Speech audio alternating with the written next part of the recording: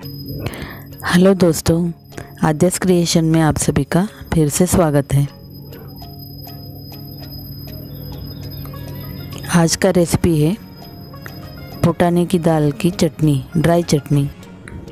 इसको पोड़ी बोलते हैं, पुड़ चटनी बोलते हैं या चटनी पाउडर भी बोलते हैं। इडली, डोसा या रोटी के साथ भी ये बहुत अच्छा लगता है। और इसको बना के एयरटाइट कंटेनर में आसानी से महीने तक स्टोर कर सकते हैं। तो चलिए, चटनी पाउडर कैसे बनाना है देखते हैं।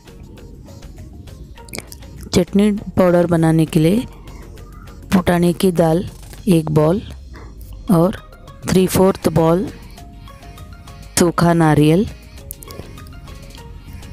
सफ़ेद वाला तिल आधा बॉल आधा बॉल, मूंगफली और ढेर सारे कड़ी पत्ते। कड़ी पत्ते आपके हिसाब से डाल सकते हैं। इससे टेस्ट बहुत अच्छा आता है।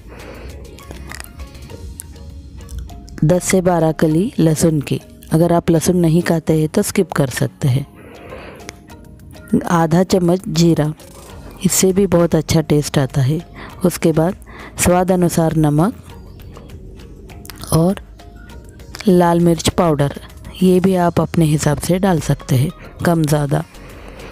थोड़ी सी हल्दी, करीब आधा चम्मच, उसके बाद इमली। इन सबको ड्राई रोस्ट करना है। उसके बाद ठंडा करके मिक्सर के अंदर पाउडर बनाना है। तो चलिए भुनना शुरू करते हैं। सबसे पहले मूंगफली को भुनना है क्योंकि वो भुनने में वक्त लगता है। इन सभी इंग्रेडिएंट्स को मीडियम आँच पर ही भुनना है। मूंगफली लगभग 80 परसेंट भुनने के बाद एक एक करके बाकी के इंग्रेडिएंट्स डालते जाना है। अभी मैंने सूखा नारियल, लहसुन और इमली को डाला है। गैस के आँच को मीडियम ही रखना है, नहीं तो ये जल जाते हैं। चटनी पाउडर का टेस्ट ख़राब हो सकता है। नारियल भी लगभग 50 परसेंट भुनने के बाद सफ़ेद तिल डालना है। इन सभी चीज़ों को ड्राई रोस्ट ही करना है, क्योंकि ऑलरेडी नारियल, मूंगफली और तिल में तेल रहता है। ये जो शाइनीनेस दिख रहा है, वो तेल छूट रहा है, उसी का है। अब इसके अंदर कड़ी पत्ते को डाल देते हैं। कड़ी पत्ता अच्छे से करारा होने तक भुनना है।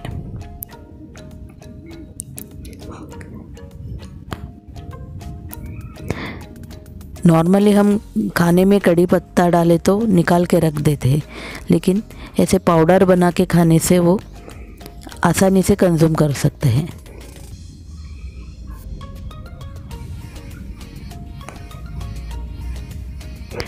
लगभग होने को आया है। हल्का सा कलर बदला है। अब इसके अंदर हल्दी डालना है। हल्दी लास्ट में डालना है, नहीं तो हल्दी कलर बदल जाएगा। भुना हुआ चना या पुटाने दाल ऑलरेडी भुना हुआ ही रहता है, लेकिन हवा की वजह से थोड़ा सा सॉफ्ट हुए रहते हैं। अब लास्ट में गैस को बंद करके इसके अंदर डाल देना है। एक दो तीन बार चलाना है ऐसा। इससे थोड़ा करारा हो जाता है और पिसने में मदद होता है।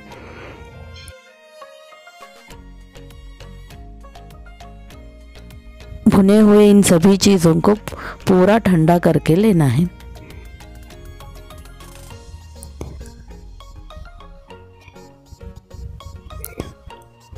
अच्छा सा कलर आया है।